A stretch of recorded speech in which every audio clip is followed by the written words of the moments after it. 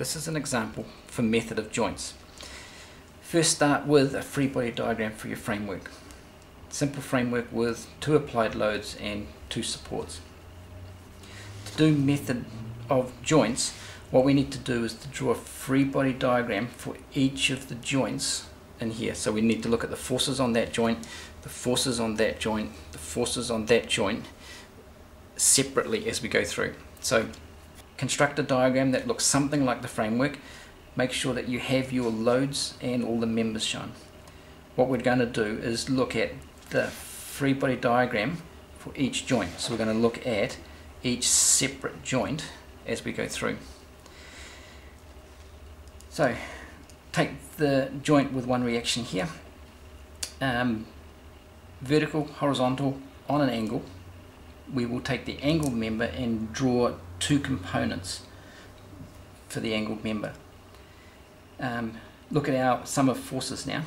Vertical forces, this is 8.75 going up. This is the only other vertical force in my diagram here. I'm not interested in anything outside of that diagram.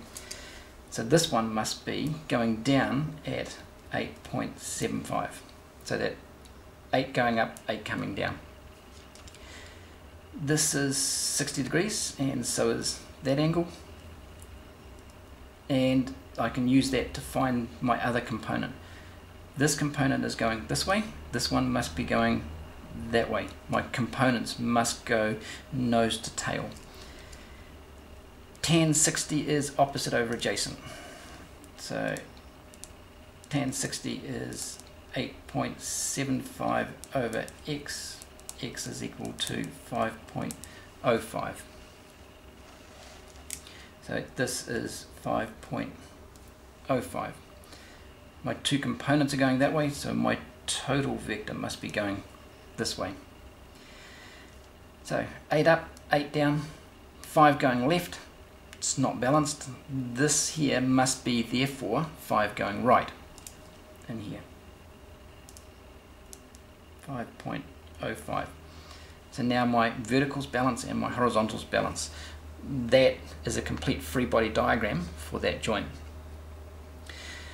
I now go to another joint. I can go to this joint, but you'll quickly find that there's too many things that we don't know. So we'll go up to this joint if this end is going down, this end must be going up, showing me that the member is in compression. It's on an angle, so draw its two components. And these are the components from this end. So going upwards, 8.75 and 5.05. Horizontal on an angle, draw its two components be careful when you're doing these, do not overlay that red line with the black line because you'll forget that there are two forces there and not just one. So keep your lines separate. Um, horizontal forces, 5 going left, don't know, don't know, can't do that one. Vertical, 8 going up, 10 going down, unknown. What I do know is that that going up and that obviously going up must equal the 10 going down. So this must be 1.25 going up. 1.25, 8.75 equals 10 going up, 10 going down. This is 60 degrees. Therefore, tan 60 is opposite over adjacent. Tan 60 is 1.25 over x x is equal to 0.72. This force must be going that way, following along the components, and its value must be 0.72.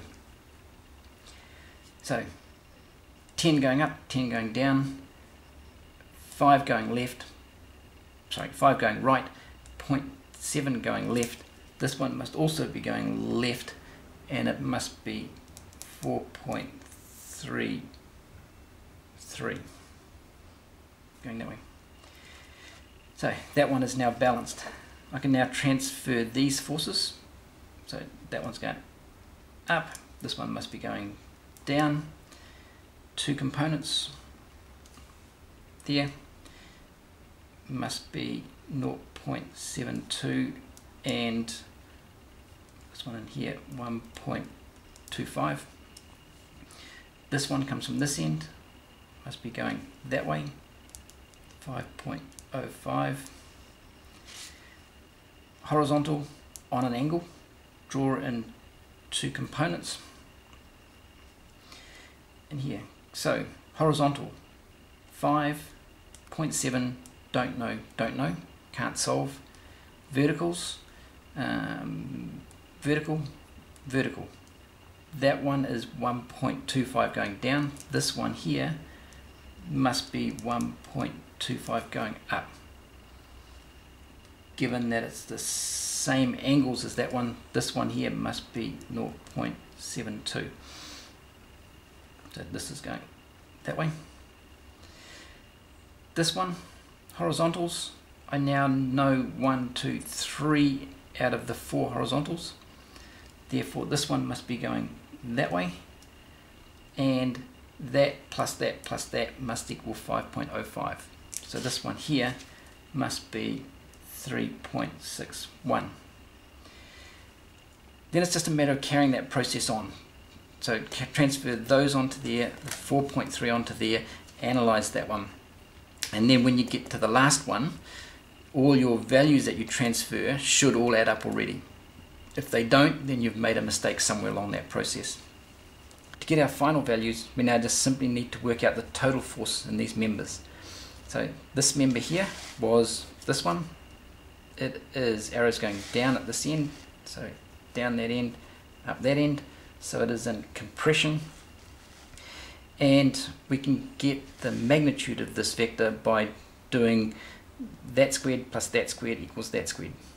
So this force here will be the square root of 8.75 squared plus 5.05 squared, which will come to 10.1.